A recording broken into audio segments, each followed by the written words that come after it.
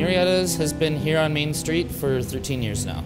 We like to consider it casual fine dining. You can sit here in, in the dining room by the wine cellar and you can en enjoy a, a, wonderful meal with, with great service. But we also have our lounge that you can come in and you can watch the game and enjoy a beer. Canmore is such a tourist town that we get guests from all over the world. I'm meeting people from Europe, from China, from Asia, from all over the place. Right now, Chef Marco's menu, which we've just launched, it's our, it's our fall menu. We're featuring everything from short ribs to sablefish, right across to our elk salami pizza. We have items that a lot of our locals and, and our regulars come that we would never get rid of. So we still have our tempura prawns and we, we still have all that, those sorts of things.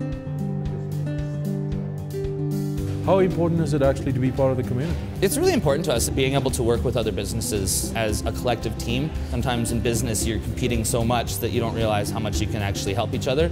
And in a town like this, I mean, you're going to get tourists that come to town for four days, then they're probably not going to eat at your own place four times. Anything that we can step out and be a part of, we enjoy doing so thoroughly.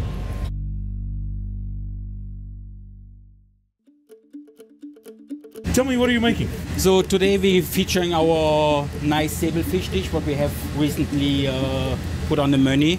It is very, very nice. Then we're finishing it up later with a carrot ginger beurre blanc, some vegetables, and uh, some smashed lemon thyme potatoes. It's always about keeping it very simple and easy, or especially if you have a very busy night. That's it needs right. to be somebody everywhere that can handle, or if your ingredients are not up to to a certain standard, we have no chance to put out good food. Or? Exactly. Now that's heating up. We have here our potatoes, they are smashed. I have three different kinds. I have red one, I have white one, and I have truffle potato, they are purple. So it depends on how much you want to have. Or You can never have too much. Yeah. A little bit of garnish, a little bit of salad. Yeah, There we go. This is for the sauce. This is for the fish and the vegetables, fellas. Perfect. Right, let's go. Let's dig suck in. into that. I want a piece of the sable fish. And beautiful. And the smashed potatoes and the sauce. Yeah. yeah. It all just balances. Get the richness from the beurre blanc, That's cutting right. it down with the lemon or from the potatoes. Mm-hmm. Have your starch, a light, tasty fish or A little bit of ginger. Just get it there in the back. Beautiful.